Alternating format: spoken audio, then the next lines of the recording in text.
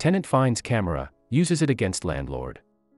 What should have been an exciting start to a new chapter of her life was now filled with sleepless nights, constant nausea, and unending stress. The problem was she wasn't able to just pick up and leave. She also couldn't let this awful man get away with what he had done to her.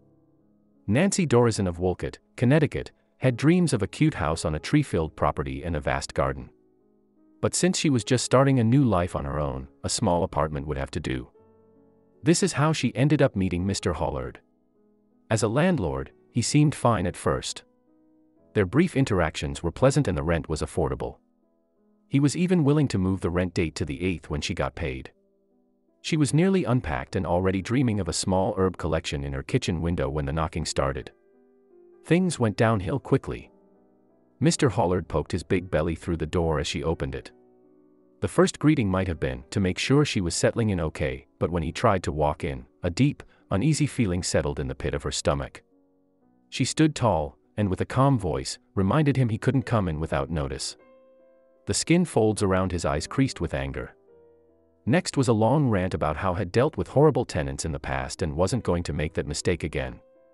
He might have conceded one conversation, but she quickly learned he wasn't going to back off. One afternoon, she heard the front door squeak open.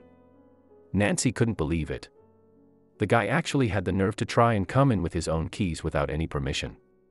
She fumed as he spouted off excuses of neighbors smelling smoke. She reminded him of how bad it looks for a grown man to break into the house of a young, single woman. It was clear she needed a plan.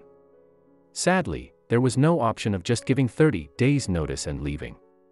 Being a new renter, she wasn't able to find a new place as quickly as she needed. So, she started to write down and film every interaction. Every knock at the door came with a new, crazy excuse that left her stressed and feeling very unsafe. One morning, while cleaning and blasting jazz through her earphones, she spotted something strange. It was a small hole in the wall, nothing out of the ordinary from afar. But when she looked closer, she felt the bile rise into her throat the sicko had put in a hidden camera. He had been watching her the whole time.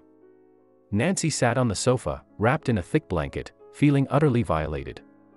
Every part of her screamed to dial 911, but a small voice pointed out something very troubling. It could end up a matter of his word against hers. He could also remove any trace of the equipment before she could act. She knew who to call. Her friend wasn't a computer whiz by any means but he was capable enough he could help her gather some evidence. Under the front of helping her clean and then watching movies, he was able to get what she needed the IP address source. Now she could call the cops. It was the sickening circus she had predicted. Uniforms showed up and Hollard denied everything. He went as far as to say that she was the one causing all the problems. Her anger reached its pinnacle when he pulled out the contract and pointed to one line of small text that said he could come in without notice. Despite her strong front, inside she was falling apart. The sleazy man was doing everything he could to make her look bad. She was the innocent one in all of this. Nancy flipped through her contract and noticed something it was her second smoking gun. It was time to take him to court. The weeks leading up to the court date might have been quiet, but every day she felt like she was going to be sick. She had searched the rest of the apartment and found three more cameras. So, with piles of evidence in hand, she finally stood before a judge. She pulled out her laptop and hit play. As the evidence unfolded, including the fact that her contract was different from his, she watched with extreme satisfaction as Mr. Hollard turned ghost white.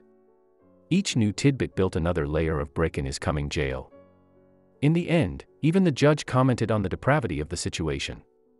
As for the settlement, it was far more than she had expected. She now had enough for a small down payment on a tiny home and the gratification of seeing him taken away for jail time. She would get her garden and a little piece of quiet heaven sooner than planned. She had to go through misery to get it, but she also ended up wiser for it.